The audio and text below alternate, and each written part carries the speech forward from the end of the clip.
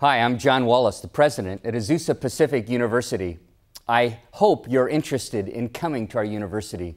We have a long history of many international students who come, and every year, our best day is the day we welcome you on campus. We're here in Southern California, in Los Angeles, where there are more than 100 cultures, more than 100 languages.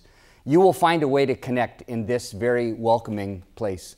I want you to know Every week, we have a chapel specifically for international themes. Speakers from around the world come and speak. Our classrooms are a place where international students contribute in vital and important ways. We think a cross cultural education is one of the most important today.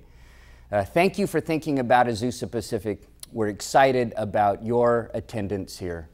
Blessings.